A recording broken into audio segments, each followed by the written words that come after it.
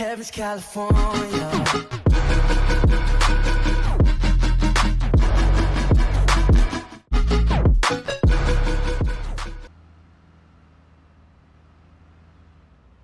Verdächtig, oder?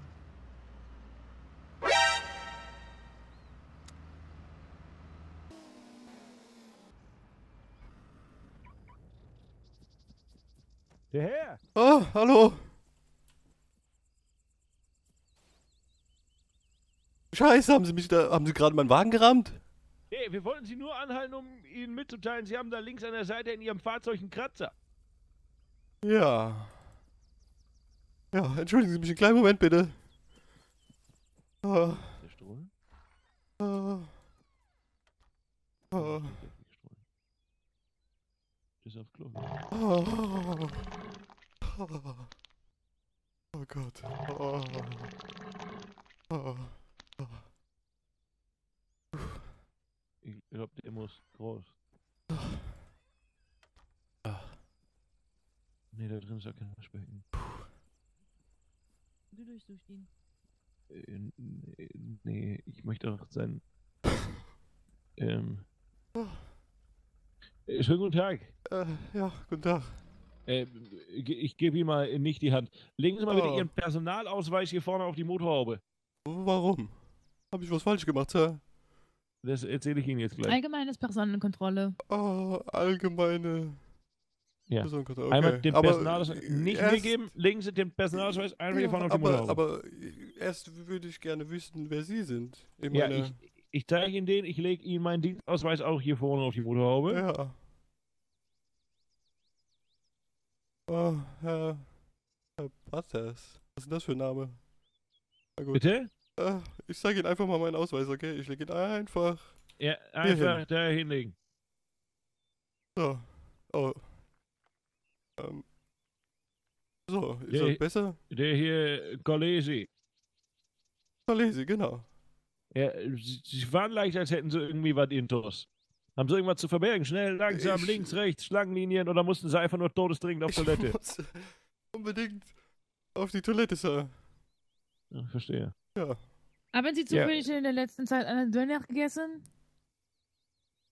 Nein. Ayran getrunken? Oh Gott, nee, sowas trinke ich nicht. D'accord. Noch Ekelhaft. für Information. Ja.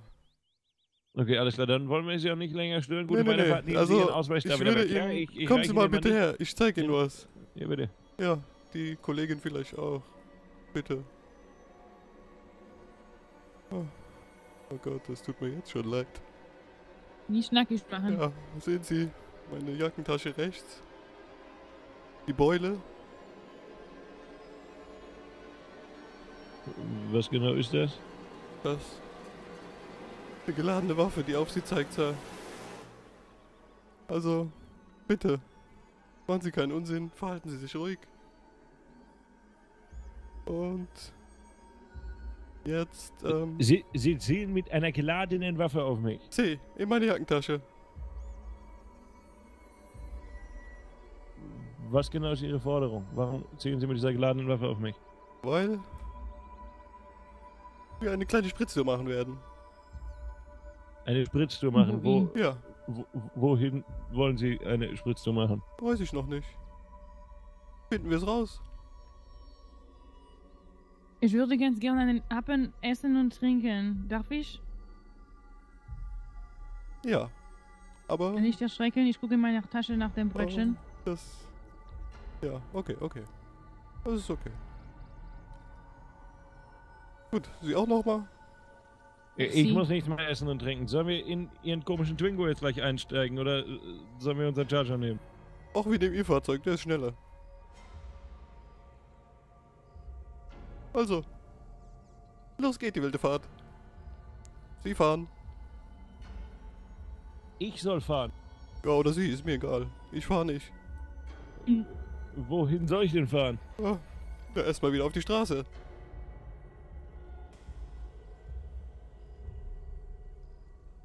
Was genau haben Sie vor? Ich bin genauso gespannt wie Sie. Worauf gespannt? Sie, Sie halten uns eine geladene Pistole vor. Genau. Vergessen Sie das bitte nicht.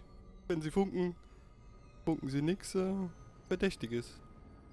Ich werde mein Funkgerät überhaupt gar nicht benutzen. Okay. Ich, äh, Aber wenn Äh, Sie angefunkt werden oder so, ob alles in Ordnung wäre, dann würden Sie einfach sagen, ja.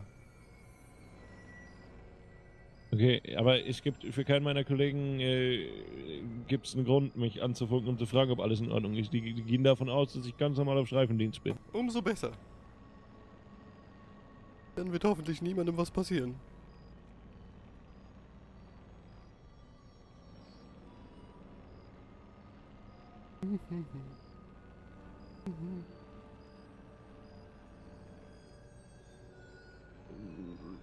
Wohin genau soll es denn gehen?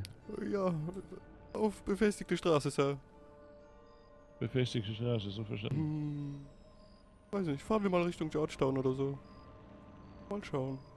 Sie haben aber nicht vor mir oder meiner Kollegin was anzutun, oder? Also, das würde ich wirklich sehr ungern machen. Rechts oder links? Rechts, ne? Rechts. Was genau haben Sie denn in Georgetown vor? Ich hab nix in Georgetown vor. Ich will nur mal die Straßen abfahren.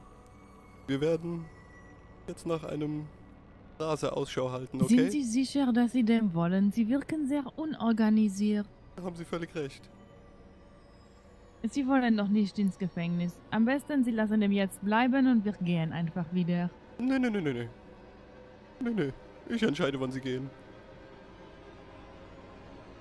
Was halten Sie davon, wenn wir einfach, äh, wenn wir Sie hier einfach rauslassen, wir fahren weiter, Sie packen Ihre Pistole ein und alles ist gut.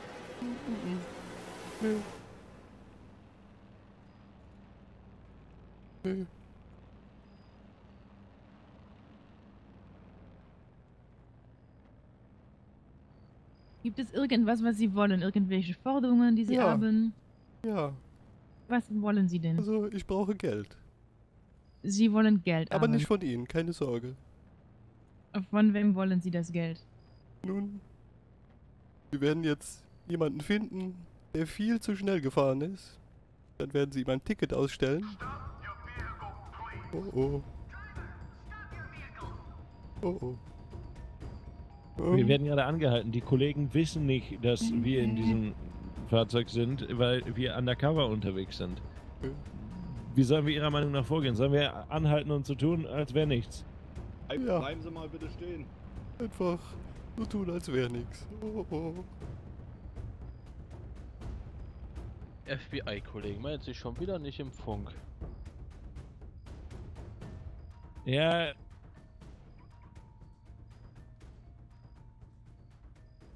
Mir brauchst du das nicht sagen. Ich habe mein Funkgerät irgendwie ziemlich leise heute. Okay. Hat, haben Sie einen Einsatz oder so, oder warum haben Sie einen Herrn Hm. hinten?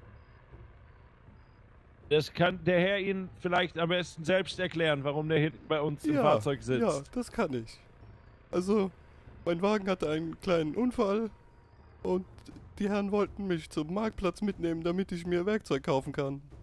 Okay. Das war wirklich Wie sehr aufmerksam denn, von? Ihnen. Oh, spielt das eine Rolle? Durchaus. Ja, also mein Name ist Colesi, Vito Colesi. Sie einen Ausweis? Ja. Ja. Und Sie? Den würde ich einmal gerne sehen. Natürlich habe ich einen Ausweis. Oh, oh, Ich würde auch einmal gerne Ihren sehen. also. hm. Na gut. Ja, Dann zeigen Sie den einmal bitte. Okay. ja, ja, bitteschön. Darf ich wieder einsteigen, bitte? Vito Colisi, ja. Ja. Check. Der Herr ist draußen, ihr braucht nicht mehr auf den Boden. Der Herr sofort die Hände hinter den Ah, Kopf. ah, ah, aber, Laut im Kopf. ah, was habe ich denn getan? Oh, bitte tun Sie mir nichts. Oh Gott.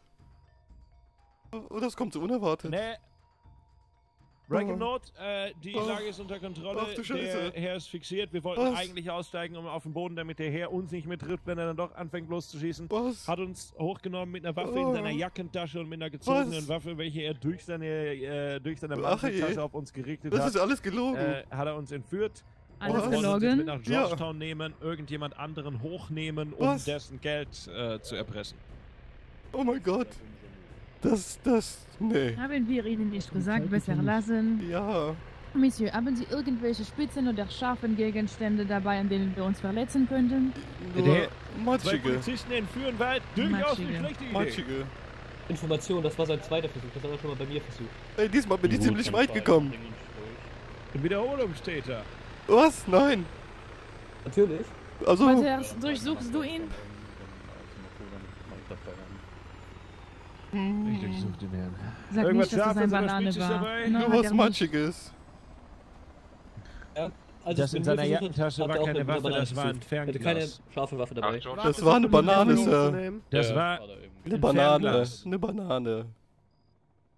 Ich habe ihm doch extra ihre Banane voll auch abgenommen. Ja, ich habe mir neue geholt. Im Übrigen, ich habe ihm mal ein Bananenverbot ausgesprochen, weil er mich Ja. mal mit der Banane versucht hat zu entführen. Wir wurden gerade mit einer Banane bedroht. Ja. Durch die Jackentasche, es sah ordentlich aus und Durch wir die Jackentasche sah das tatsächlich nach einer Pistole aus. Ja, ich weiß. Der Herr, Sie wissen schon, dass Sie damit Ihr eigenes Leben aufs Spiel setzen. Stellen Sie sich Also- mal vor, Ihre Kollegen hätten uns nicht angehalten. Also ich habe hätten, klare Anweisungen Leben gegeben. auf Sie schießen können. Was zur Hölle? Ich sagte doch, bleiben Sie einfach ruhig, dann passiert keinem was. Wenn wir das für eine scharfe Waffe halten, hätten, hätte es passieren können, dass Ja. wir sie über den Haufen schießen. Aber warum tun Sie denn sowas? Weil wir von Gefahrenvollzug ausgehen. Gefahr. Ah, ich wollte Ihnen doch gar nichts tun, Sir. Wir haben so getan, als hätten sie eine Waffe. Ja, okay. Aber ich habe auch gesagt, ich möchte Sie... Der Herr das bei Möchte Ihnen auch nichts schon mal tun. gemacht. Positiv. Was? Und Sie haben ihm bereits Bananenverbot Ich habe ihm Warum- Bananen verboten, warum habe ihm genau heute sogar schon meine das? Banane abgenommen gehabt. Die habe ich sogar noch dabei. äh, Ich entsprechend. glaube, den bringen wir nicht in den Knast. Ich glaube, den bringen wir zum Arzt, oder? Also z- Was? zu einer Mir geht's- psychologischen Nein, das Untersuchung. kann Also- nicht stimmen. Was wollten Sie denn? Sie wollten Geld. Warum Ja. brauchen Sie Geld? Weil ich Geld brauche. Ich bin arm. Wofür brauchen Sie denn Äh, Geld? Sie äh, haben einen schicken Designeranzug an Ja, und sagen, Sie sind arm. ja. Wie wär's mit Arbeiten gehen? Arbeiten. Ja, das habe ich ja versucht. Ich habe mich aufgehalten. Als Verbrecher haben Sie versucht, arbeiten zu gehen. Ich habe Ja, ihm sogar einmal eine Lizenz ermöglicht. Das geschenkt. stimmt, das stimmt. Der Lambo da, die zwei sitzen am Er Wasser. Herr Lewis ist echt ein klasse Typ. Ich mag ihn sehr. Ja, aber Sie können doch nicht. Sie können doch nicht Polizisten hochnehmen. Ich meine, wie wahrscheinlich wäre das jetzt gewesen? Also, selbst wenn die bis unter die Zehennägel bewaffnet wären. Mhm. Äh, Alleine. alleine Ganz die alleine. Polizisten hochzunehmen, ist vielleicht nicht die beste Idee. Also. Sie sind nicht ein so Ja. schlaues Kerlchen. mm, Oh. Naja. Vielleicht Oh. nicht der Schlauste, ist schon nee. bitter. Jetzt weiß er sich, wie Herr Portal sich fühlt. Ja. ja, scheiße. Mhm. Also, ich würde sagen, es ist keinem was passiert und allen geht's gut. Oh, wenn Sie keine Strafe bekommen und wissen, no, es ist überhaupt nichts gewesen und Sie Mhm. haben gerade schon mal versucht, Sie versuchen bei jemandem Dritten, also no. Dieses Mal, Sie kommen nicht ohne eine Strafe davon. Okay. Ja, also, wie sieht denn die Strafe bei sowas aus? Gefängnis. Gefängnis, ach du Scheiße, nee, ich bin, nee. Da muss es eine andere Möglichkeit geben. Eine andere Möglichkeit. Sie Ja. haben Polizisten mit, ist Ihnen klar, ne? Naja. Aber es bestand nie wirklich eine Gefahr. Auch Wie viel ist. Geld besitzen Sie? Nicht so viel. Also ich kann. Das ist nicht so Ich viel. wohne in einem Twingo. Was ist nicht so viel? Wohnen in einem Twingo. Ja. Weil ich kein Geld für ein Haus habe. Wo finde ich denn Ihren Ausweis? Äh, Hosentasche, hinten rechts. Äh, der hat. Ja. Ja, Ach, was? Ich gucken hab Sie ruhig. Was ist? Ja, der ist. Muss ich Handschuhe Oh, anziehen? nimm nur. Muss ich Handschuhe Ah, anziehen? Nee, ah, nee, Am alles Arsch gut. Nee, nimm, nimm nur den Ausweis. Alles Ich gut. habe Handschuhe dabei. Moment, so. Oh, oh. Normalerweise stellt sich nicht so zimperlich Ja. an, wenn er an den Hinteren von Männern muss. Mhm. Leitstelle im Short.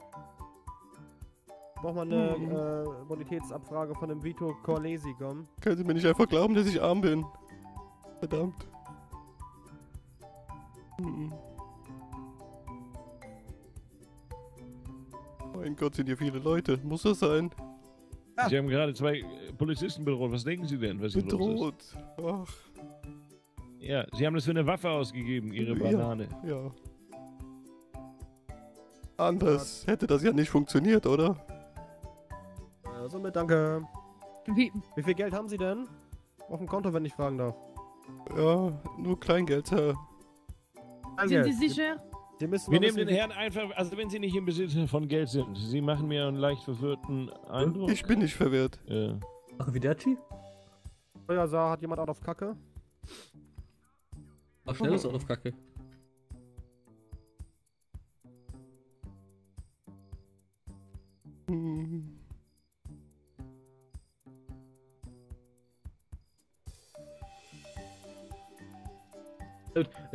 Wie gesagt, äh, Wiederholungstäter, wir würden uns schon mal weiter begeben, weiterfahren. Äh, Ja, ich wünsche Ihnen was. gleichfalls. Ja, ja, alles klar. Oh.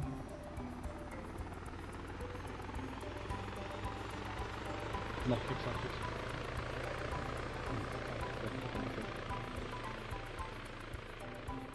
Ja, Also ich würde sagen, wir nehmen den Herrn mit für gemeinnützige Arbeit, der kann Hof gern oder irgendwas. Das kann man machen. oh, ich verkaufe auch Staubsauger. Möchten Sie welche? Nee, Staubsauger müssen Sie nicht verkaufen. Können Sie mit?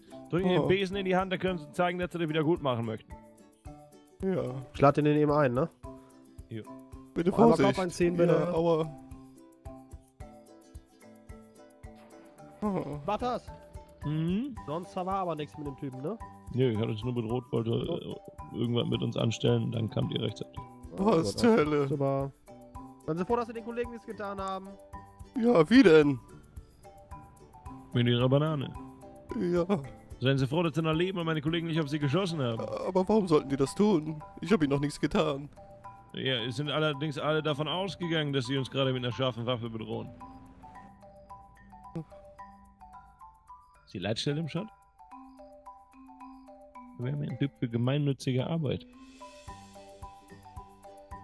Wenn Sie, wenn Sie ein bisschen auf den aufpassen würden, dem drücken wir jetzt einen Besen in die Hand. Oh. Der Hof könnte mal wieder gefegt werden eigentlich. Ach du Ja. Scheiße, der ist ja riesig. Ich habe gedacht, der macht sich nützlich. Ah, Ja. Sie sind noch eine Weile hier? Ich bin noch im Moment da, ja. Okay. Der Typ, der pflückt sich Mhm. Bananen, um damit irgendwelche Leute zu überfallen, weil der nicht im Besitz von Geld ist. Okay. Ich würde sagen, wir entlohnen den natürlich auch ein bisschen für die gemeinnützige Arbeit. Ich gebe ihm hier mal 2000 Dollar. Oh. Na endlich, hat sich ja doch fast Nein, nein, gelohnt. die gebe ich nicht Ihnen, Oh. sondern die gebe ich dem Kollegen Koschinski. Was? Wenn Sie den Hof hier kehren Boah. und das auch wirklich sauber ist und das ganze Laub vom Boden hier weggekehrt ist, ja. dann kann der Kollege Koschinski Ihnen die 2000 Dollar aushändigen. Das entscheidet der aber selber, ob es sauber ist oder nicht. Oh je. Also schneiden Sie sich von da vorne jetzt einen Besen, fangen Sie an zu schrubben und dann kriegen Sie die 2000 Dollar, wenn das hier Oh. sauber ist. Hinter der Ecke steht einer, können Sie direkt anfangen. Oh, ach du Scheiße. Na ja, check. Dann einmal hier den kompletten Parkplatz, von da vorne beim Tor Oh. bis dort vorne und hier den großen Ach du einmal. Scheiße, das dauert ja ewig. Oh. Ja, hört sie. Wenn Sie schnell sind, dann. Ja, zeigen Sie mir, wo ist der Besen? Oh, der, dann fangen Sie an. Ja, wo ist denn der Besen? Da hinter der. Hier, gesagt, ich haben Sie mit. Ja. Oh.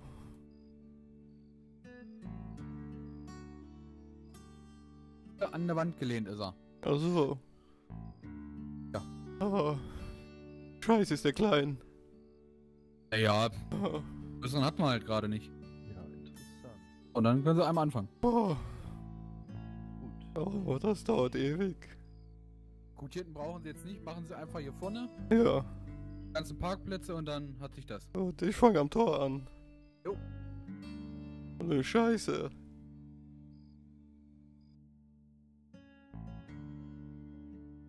Ja, ja. Sieht soweit ganz gut aus, das reicht. Oh, sind Sie sicher? Ja, alles gut. Wir waren noch gar nicht da hinten. Aber gut, dass Sie Ja, sagen. alles gut. Hier vorne passt schon. So, Ah. und einmal die 2000. Oh, Dankeschön. Im Besen nehme ich einmal. Ah, ja, bitte. Ich kann das Scheißding nicht mehr sehen. Ich dachte, du musst davon aufwachen. Gut. Äh, Sie sind jetzt nicht mit dem Auto gekommen, oder? Ne, die sind ja mit dem ja. Vater gekommen. Ja, die haben mich ja entführt.